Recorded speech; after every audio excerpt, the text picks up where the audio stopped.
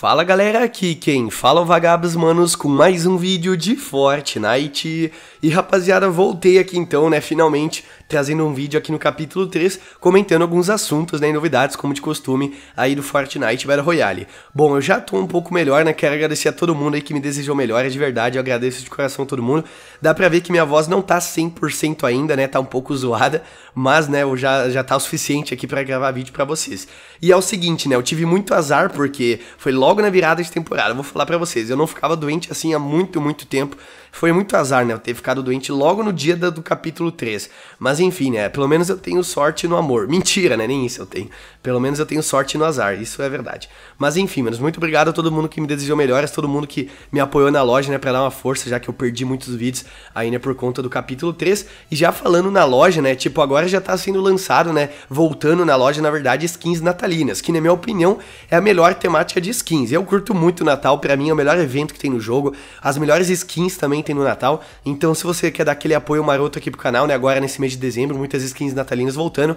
Se você quiser comprar, né, alguns itens aí com a tag Vagabito, ia ajudar muito, tá? Mas enfim, rapaziada, já que eu falei agora de skin, uma parada bem interessante também é que vai ser lançado muito em breve personagens, né, skins do Gears of War, que inclusive, né, já tinham aparecido no trailer. A Epic Games colocou alguns detalhes no mapa, né, também indicando essa parceria, então não tava escondendo, né? Mas olhem só, de acordo com vazamentos, essas duas skins, esses dois personagens aí do Gears of War vão aparecer na loja no dia 10 de dezembro, tá? Daqui a pouquinho, que já é no caso nessa sexta-feira. Então, se você curte muito né, Gears of War, se você curtiu as skins no caso, já vai preparando os V-Bucks. Possivelmente as skins vão, né, custar V-Bucks e não dinheiro, tá? E uma parada importante, manos, é que eu não vou comentar aqui hoje, né, e não vou comentar mais no caso a respeito, né, de novidades, né, mais simples, vou dizer assim, do capítulo 3. Como eu não postei vídeo domingo nem ontem, né, eu acho que nessa altura todo mundo já deve saber a respeito dos novos itens, como que tá funcionando as mecânicas, né, deslizamento e tudo mais, né, os locais do mapa, paz de batalha, logicamente. Então,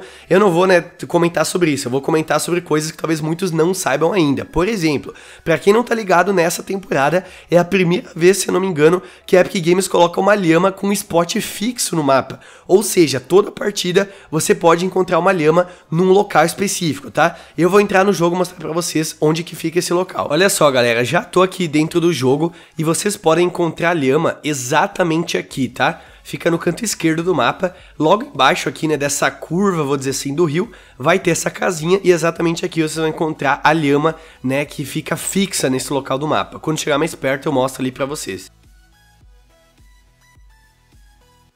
Olha só, mano, estou chegando aqui na casa, eu já vou desmarcar aqui, e vocês podem ver que tem uma lhama ali. Se eu chegar perto, né, ela vai sair correndo, então eu não vou chegar, porque eu quero mostrar pra vocês. E ela fica ali, manos, porque nessa casa é onde fica o personagem da lhama, né, então a Epic Games colocou uma lhama ali permanente por conta disso, o que faz, né, total sentido.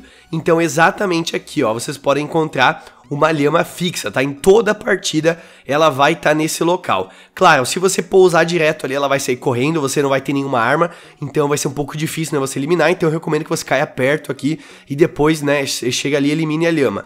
Só que, tipo assim, né, muita gente tá reclamando, principalmente a galera do competitivo, tipo assim, eu particularmente gostei disso, porque eu faço muito experimento, né, com lhama no laboratório de batalha, e isso vai me ajudar muito, porque era bem chato, né, ficar perdendo tempo achando a lhama, e também, né, se a Epic Games colocar alguma missão de encontrar a lhama no futuro da temporada, vai ter esse local fixo, né? Muito mais fácil de você fazer a missão. Agora, pra galera do competitivo, obviamente vai ser bem diferente, né? Porque como tem um local fixo de lhama, a lhama dá bastante material, dá bastante item de cura, é um item muito bom, né? Com certeza. Então, claro, né, que a galera que pousar aqui vai ter uma guerra, né, para pegar os itens da lhama, mas enfim, né? Eu, na minha opinião, gostei disso, né? Vamos ver se vai ser útil ou não aí nos modos competitivos. Mas enfim, tá então uma lhama permanente, né, que todo mundo pode encontrar no mapa aqui exatamente nesse local. E uma parada interessante também com relação a loot no mapa mapa que talvez muitos não tenham percebido é que agora voltou no mapa aquele barco, né, cheio de loot que estava na terceira temporada do capítulo 2.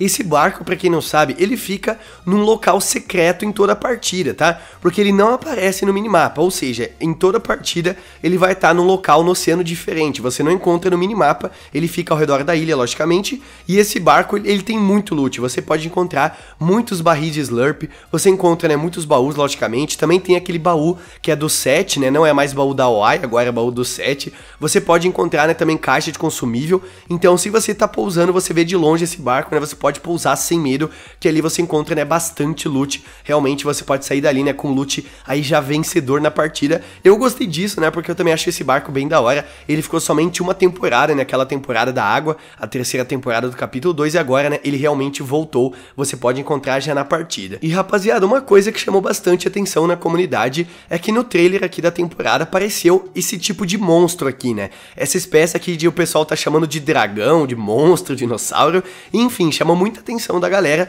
só que até o momento não foi lançado. O pessoal né, quer saber quando que isso vai chegar no jogo. E olhem só, de acordo com o Licker China, ele vai ser lançado na sétima semana da temporada, ou seja, vai demorar um pouco ainda, né, para esse bichão aí chegar no jogo, e de acordo com ele, é um dinossauro, tá? É uma espécie aí de dinossauro. Pode ser que outras espécies também apareçam no mapa, né, não somente essa.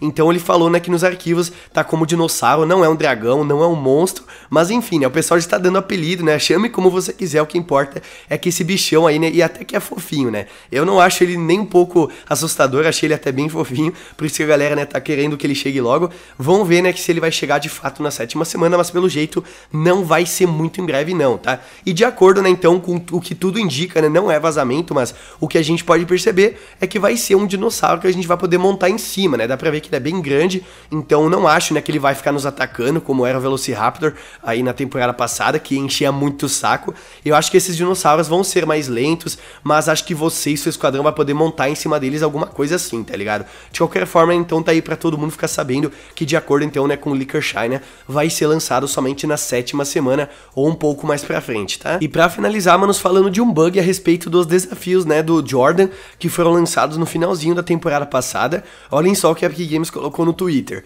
Devido a um problema com os desafios de arremesso perfeito, estaremos concedendo os estilos revelação, drible cruzado, MVP e rebote para todos os jogadores que possuírem os trajes ala e pivô em uma atualização futura.